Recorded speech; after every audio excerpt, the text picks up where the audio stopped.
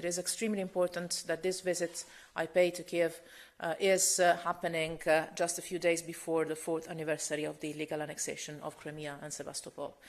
Uh, we do not recognize uh, the annexation. We will continue in our uh, implementation of the non-annexation, um, on the non-recognition policy of the annexation, and we continue to condemn this violation of international law.